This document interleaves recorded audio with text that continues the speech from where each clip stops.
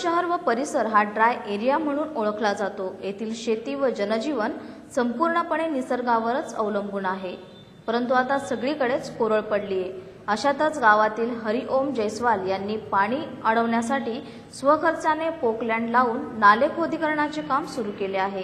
त्यांच्या या कार्याबद्दल त्यांचे सर्वत्र कौतुक होत आहे. बोदवड शहर व परिसर याची ओळख ड्राय एरिया म्हणून करण्यात येते. येथील शेती व जनजीवन संपूर्णपणे निसर्गावर अवलंबून आहे. ओडीए योजनेमार्फत मिळणाऱ्या पाण्यावर येथील जनता अवलंबून आहे. शहरात तीन तलाव असून ते कोरडे पडले आहे त्यामुळे विहिरांना सुद्धा पाणी नाही. गावातील प्रसिद्ध व्यक्ती हरिओम जयस्वाल यांच्या मनात पाणी अडवण्याची संकल्पना आली व गावातील वेस्टेज पाणी वाहून न जाता अडवले तर तेच पाणी जमिनीत हिरपून विहिरींना मुबलक पाणी उपलब्ध होईल. म्हणून स्वखर्चाने पोकलँड लावून नाले खोलीकरण करण्याचे काम त्यांनी स्वखर्चाने सुरू केले. त्यामुळे दुहेरी फायदा गावकऱ्यांना होऊ लागला आहे. एक तर याच नाल्यात गाळ साचल्यामुळे पावसाळ्यात पाणी निघायला वाट नसल्याने काही कॉलनीत पाणी शिरून पूरदृश्य परिस्थिती निर्माण होत असे. आता नाले खोलीकरणमुळे व गाळ निघाल्याने उन्हाळ्यात पाणी साठवण होईल व पावसाळ्यात नाल्यातील पाणी वाहून जाण्यास मदत होईल. व या योजनेचे पूर्ण श्रेय प्रभू अॅग्रो इंडस्ट्रीजचे संचालक हरिओम जयस्वाल यांना जाते.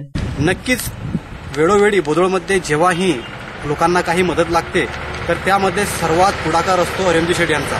आज आमच्यासोबत ते उपस्थित आपण जाणून घेणार आहोत. और मागच्या वेळेस आम्ही आपल्याला आठवण करून देतो की जास्त नाही फक्त आठ दिवसाआधी आपले माननीय नाथाभाऊ या बोदोड शहरामध्ये आले होते.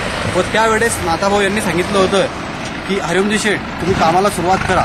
माझ्याकडून जी मदत लागेल ती मी तुम्हाला करणार आहे. त्यांनी लागलीच कामाला सुरुवात करून आपलं स्वतःचं पोकलँड दिलं व पोकलँडच्या द्वारे त्यांनी इथे नाल्याचं खोदकामात सुरुवात केलेली आहे.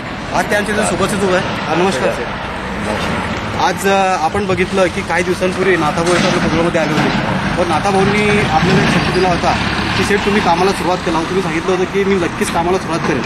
तुमच्या मनामध्ये सांगा की ही संकल्पना कशी आली की नाल्याची सफाई करावी लागली?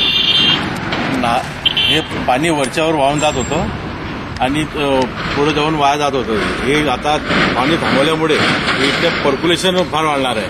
कमीत कमी आठ ते बारा फुटापर्यंत याचे खुलीकरण झालेलं आहे. आता हे पाणी पूर्ण आता याच्यामध्ये कमीत कमी आठ ते सात ते आठ दोनच दिवसात पाणी सात ते आठ लाख लिटर पाणी डम झालेलं आहे. आता याच्यामुळे पूर्ण एरियामध्ये आठ ते दहा विहिरींना फा- याचा फायदा होणार आहे. हा जो इथं पाणी झाडा थांबलेला आहे याच्यात आवर्तन जे झिरपून पाणी विहिरीत जाणार आहे आता. हो पूर्ण पा- पाणी जिरपून विहिरीत याचं पाणी विहिरीत जाणार आहे आणि लोकांना त्याचा फायदा होणार आहे. पाणी याच्यामध्ये पाण्याची समस्या आजूबाजूच्या विहिरींना येणार नाही. अनेक स्टोर सर्व सर्वांनी केला पाहिजे तसा. सर्वांनी काही ना काही मदत श- शासनाचे वाट न पाहता आपण स्वतःहून मदत केली पाहिजे. तसं मी सर्व लोकांनाही आवाहन करतो.